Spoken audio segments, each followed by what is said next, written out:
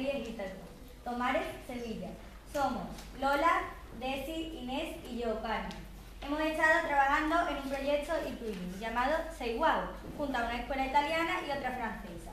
En este proyecto hemos estado navegando sobre el, mundo de las palabras y hemos aprendido mucho sobre los, los refugiados y migrantes. Entonces, eh, hemos aprendido que más de 65 millones de personas se han, sometido a ser obligadas a, abandonar su hogar. Y esto nos ha dejado muy impactadas. Por eso hemos, hemos querido aprender más sobre el tema. Hoy tenemos la suerte de poder profundizar en este tema tan importante en nuestro día. Tenemos aquí a dos de los coordinadores de CEA. CEA es la Comisión Española de Ayuda al Refugiado. Eh, se fundó en el 1979 y su objetivo es eh, defender los derechos de las personas que solicitan eh, protección internacional. También tenemos con nosotros a dos de los solicitantes de asilo que en estos momentos reciben la ayuda de esta organización. Bueno, comenzamos con las presentaciones. Tenemos aquí a Salvador Bandera, técnico lingüístico de CEA y licenciado en enseñanza del español como lengua extranjera. Y él nos hablará un poco pues, de cómo funciona esta organización. También tenemos con nosotros ella estudió magisterio en especialización de educación especial y también es experta en la enseñanza del español como lengua extranjera. Ella nos hablará de la importancia de la lengua cuando uno llega a un lugar nuevo.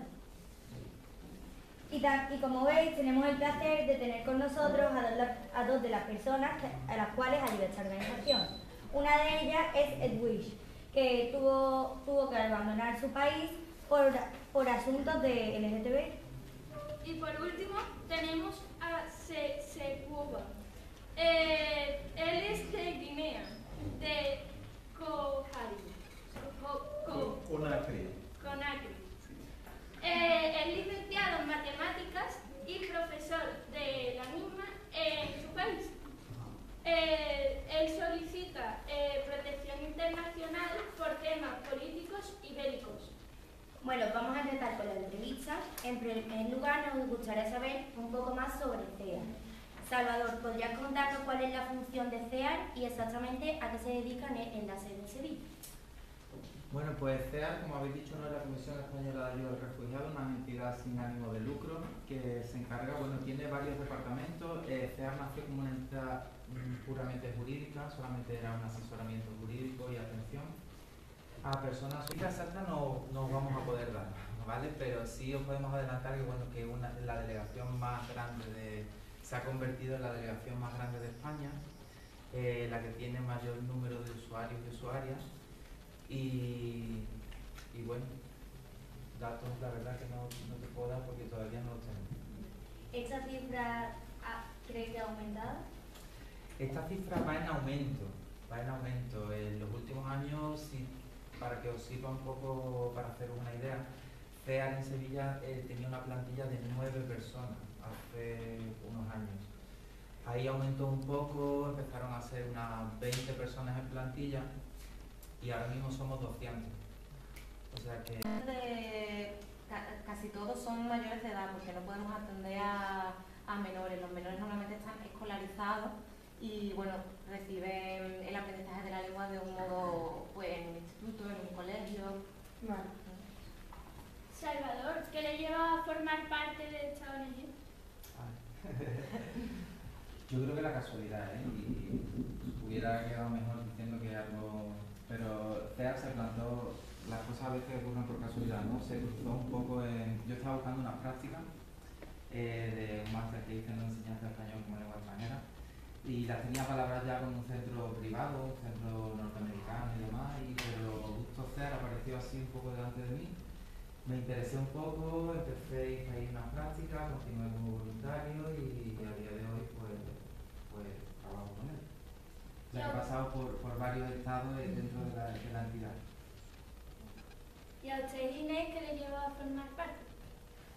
Pues, a ver, sí es verdad que yo no me lo encontré por casualidad, pero sí es verdad que hubo muchos factores que hicieron que al final acabase donde, donde estoy. Yo empecé dando clases de español hace muchos años, en China y otros sitios, estuve por allí y he dado clases en muchos colectivos, pero es verdad que siendo maestra de educación especial, lo- los colectivos a los que a los que necesitan que se atienda a la diversidad me llaman muchísimo la atención y pienso que ellos están dentro de, de ese marco.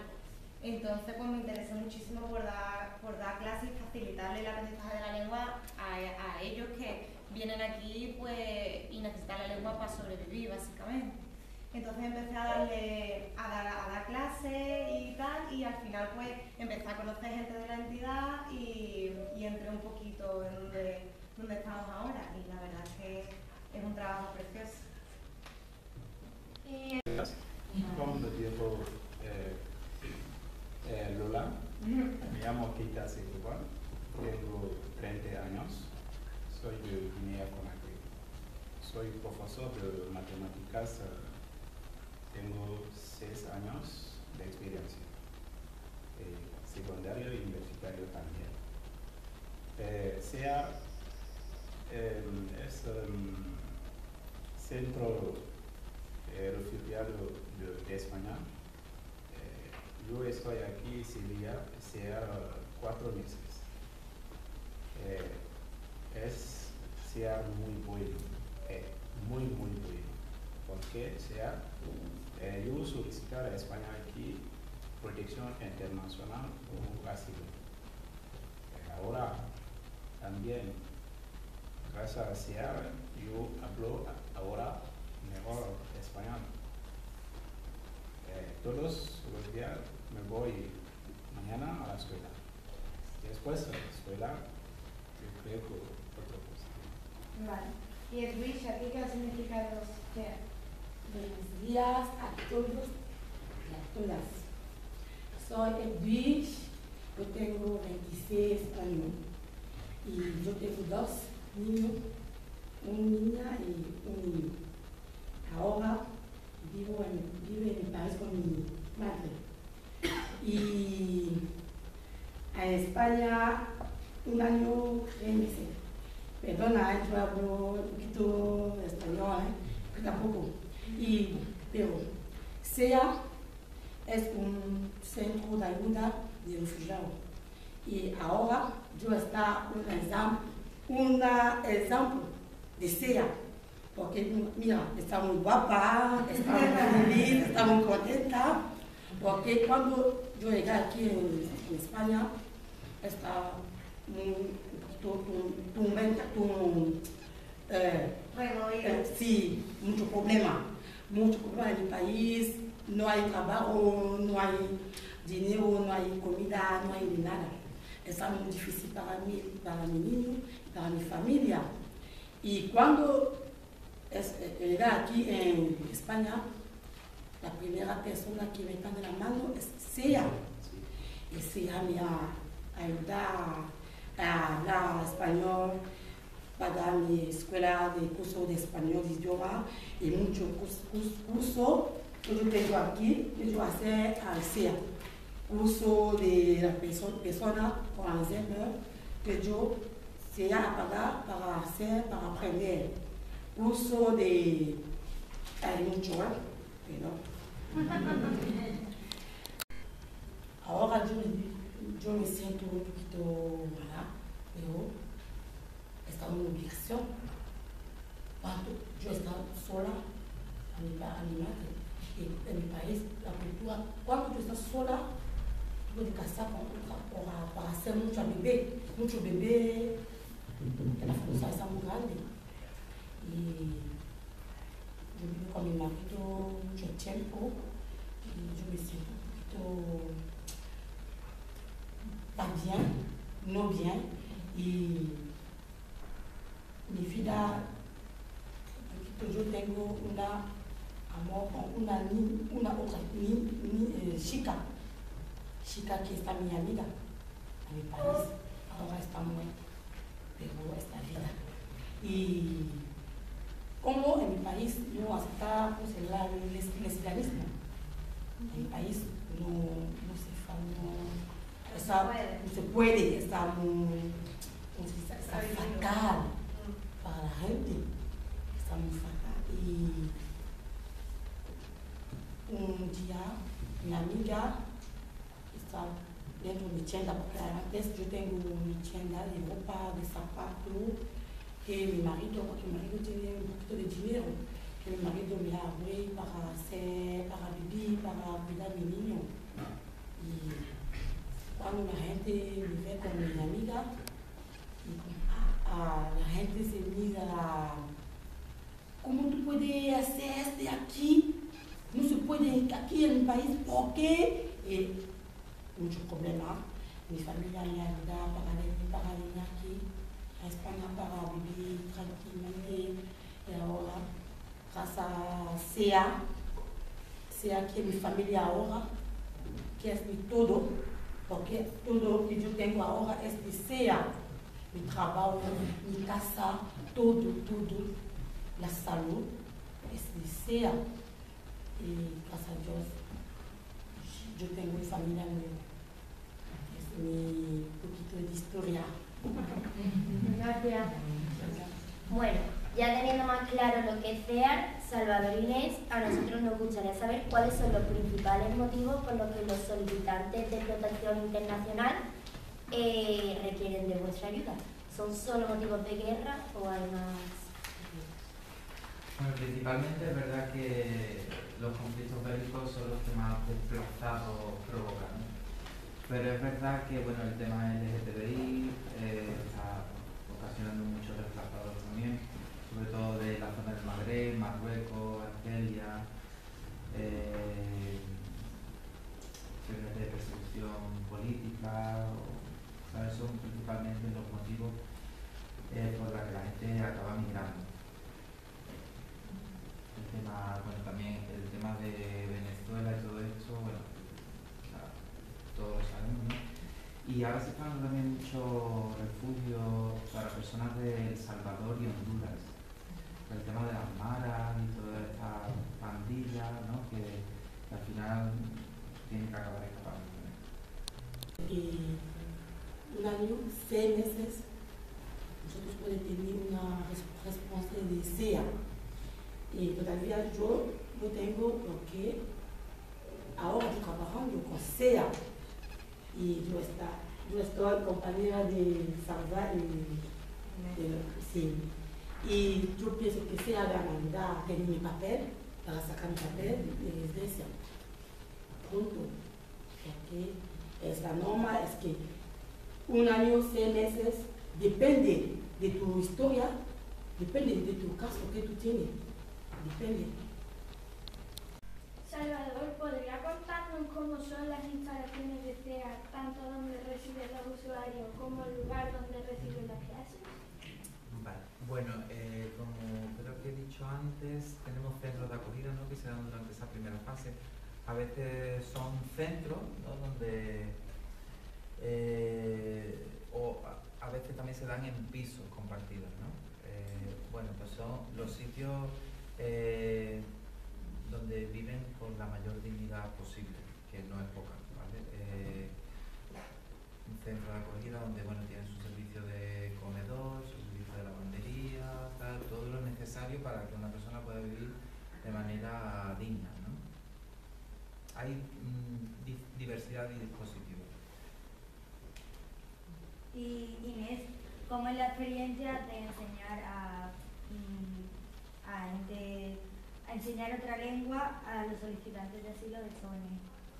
Pues mm, es un trabajo apasionante, sobre todo, porque mm, al ser un colectivo con necesidades especiales, requiere eh, una atención plena hacia ellos, tienen muy claro qué es lo que necesitan y, mm, y sobre todo trabajar para que las programaciones de aprendizaje de la lengua estén adaptadas a ellos y a sus fases, con las fases que van pasando mientras están con nosotros. Entonces ellos al principio, pues, si necesitan coger el autobús, necesitan ir a un centro de salud, todo ese léxico, toda esa gramática es lo que nosotros intentamos introducirles siempre desde un enfoque comunicativo. Y mm, después cuando empiezan con la búsqueda de empleo, pues también que aprendan a hacer un currículum, que aprendan a hacer una carta de presentación, eh, que se puedan enfrentar a una entrevista de trabajo. Entonces requiere, requiere mm, que todos seamos muy activos y formemos un equipo muy activo dentro de la, del aula, porque ellos necesitan sobre todo comunicarse. Nos encontramos con gente que no sabe leer, no sabe escribir, pero que está aquí y que lo más importante es que comprendan y puedan llegar a, hablar y, a expresar lo que necesitan, lo que quieren y que entiendan sobre todo qué herramientas tienen para conseguirlo. Y en esas estamos y es muy bonito, es muy gratificante y ellos avanzan muchísimo porque además eh, casi todos son, son muy estudiosos y en casa hacen trabajo y, y sobre todo saben que necesitan el español para poder, para poder adaptarse a, a la sociedad de acogida. Entonces todos están bastante concienciados como, como saben que es muy importante poder comunicarse aquí en Sevilla o en otra ciudad donde quieran. Cinco, eh, cinco días para, para semana es muy bien. ayer. Eh, a uno, a dos, de uno, todos, cinco días por semana. Es muy bien. Nivel básico a uno, tres horas para, para día. Es muy, muy, también, mucho tiempo. Si tú quieres cuatro meses, fácil, tú hablar español muy bien. Bueno, soy Cuba. Sí. Nos gustaría saber cuáles fueron los motivos por los que tuviste que abandonar tu país. Mm, Bueno, eh, esa pregunta es muy importante porque yo eh, me voy a mi país por tres razones. Primero, la muerte de mi esposa, estas manifestaciones de políticas. Segundo, fui amena- amenazado y perseguido por el poder gubernamental. Eh, tercera, perdí mi puesto como director de la escuela. Eh, tres cosas. Vale. Eh, primera, bon, por favor, primera, a las eh, nueve meses del embarazo de mi esposa, ella fue víctima de un accidente por parte de los militantes del poder en lugar de que su poder en compañía. Ella muerto en 2014 para manifestar de, de mi país el gobierno. Eh, segundo, yo fui perseguido eh, a mi país. Vale. Y el Twitch, ¿tú, ¿usted nos podría contar por qué abandonaste tu país? Y como yo hablaba antes, como yo, como yo hablo antes aquí, y el problema es que en mi país no hay libertad, no hay libertad de, de decir cómo se siente, porque yo, yo tengo unas relaciones amoroso o amorosa con una amiga, con una chica, una chica, no chico, chica. Y a mi país está muy en, como en predicciones de hacer esto. Muchas personas en mi país hacer operaciones de chico, chica, de disfraz. Nadie ni, ni, ni, ni, ni tiene que ver. Porque si hay una persona que te ve con una otra persona, chica o otra chico, es un gente puede te, te cortar la cabeza. Y yo, cuando yo tengo nueve años, yo, eh, eh, yo, yo tengo una amiga, todo el día está en, clase, me voy en clase, y la amiga de clase, yo conozco a, a la escuela. Y todo el día aprender juntos, caminar juntos, hacer la fiesta juntos, todo juntos. Y se va un día, un día, y él y yo hacer sexo. Perdona, ¿eh? puedo me, me exprimir. Eh, puedo exprimir para hablar. Y es mucho tiempo, un año, dos, tres, cuatro, cinco, seis, seis años. Y cuando yo estaba, yo, mi, mi familia, hace mi, mari- mi- casada con mi marido, yo tengo un marido con dos, ni- dos, dos mujeres, ¿no? Nadie dentro de mi familia conozco que yo tengo una relación con mi amiga. Mi madre conoce mi amiga, mi padre también, pero es un secreto los dos, mi amiga y, yo. Y hacer las cosas así.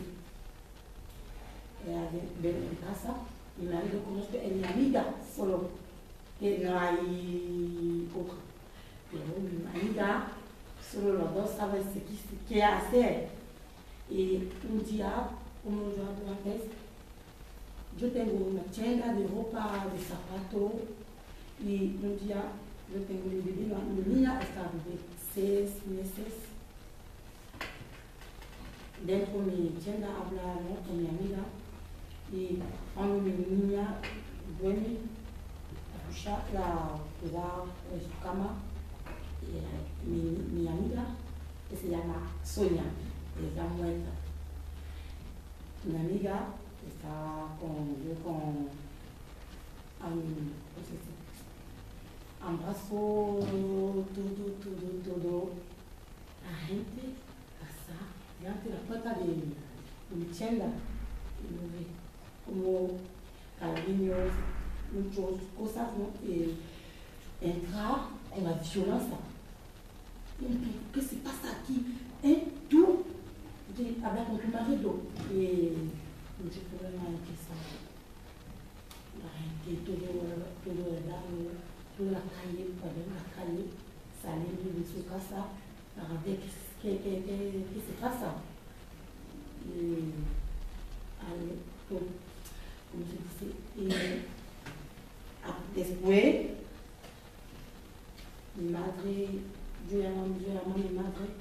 porque yo vivo con mi madre, mi madre vive en su casa y yo con mi marido y mi niño. Y yo hablo con mi madre que hay gente aquí para mi bienestar, para mi, y todo, y todo. Y ma- mi madre saca dinero de la vida para, para, para salir de mi país. Porque la Eh, de Sénégal, eh, de Guinée au Sénégal, eh, dos semanas. Eh, es muy difícil para autobús. Eh, después, eh, una semana, mi coche autobús, yo digo, nosotros eh, vehículos eh, abiertos caminamos el resto de los 100 kilómetros. Caminamos tres días, 100 kilómetros. De Marruecos, eh, de, de, de, de Mauritania, um, Marruecos, cuatro o cinco días. Es muy, muy, muy difícil. De Marruecos es muy difícil porque eh, Marruecos entre nosotros y el periodo marroquí era como eh, entre nosotros y policía de Marruecía era como el gato y rato. Luego, nosotros todos y dentro del bosque, ¿sabes bosque? ¿Mm? Bosque, nosotros oh, llegar aquí a Marruecos y dentro del bosque.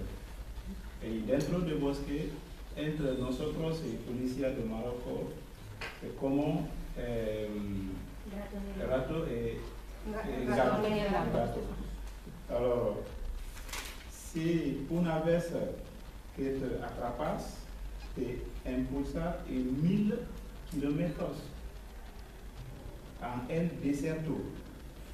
Así, Algeria fui testigo de la muestra, yo fui testigo de la muestra atroz de dos de nuestros hombres por eh, sed. Tengo sed desierto. sus Es, si no me equivoco, que prácticamente es igual el número de trabajadores asalariados que voluntarios. Eh, CEAR da mucha importancia al, al cuerpo de voluntarios, ¿no? porque es desde ahí también donde se transforma una conciencia de ciudadanía y de donde se puede trabajar para el cambio real ¿no? de, de la sociedad. ¿Qué, qué creéis ¿A qué se, perdona, ¿a qué se dedica, me habéis dicho? ¿no? Bueno, hay voluntarios que practican acompañamientos con, con los usuarios, bueno, a lo mejor en un, momen- en un primer momento de la llegada que no dominan el idioma, hacer esos trámites sanitarios. Hay muchos voluntarios también que, que dan clases de español o clases de apoyo, eh, en fin, que hacen tours turísticos por la ciudad para que, para que conozcan el contexto en el que viven o van a vivir, o sea, prácticamente en todas las, en todas las áreas de, de la ciudad. ¿Qué creéis que pueden hacer, que pueden hacer los ciudadanos para colaborar con esta ONG?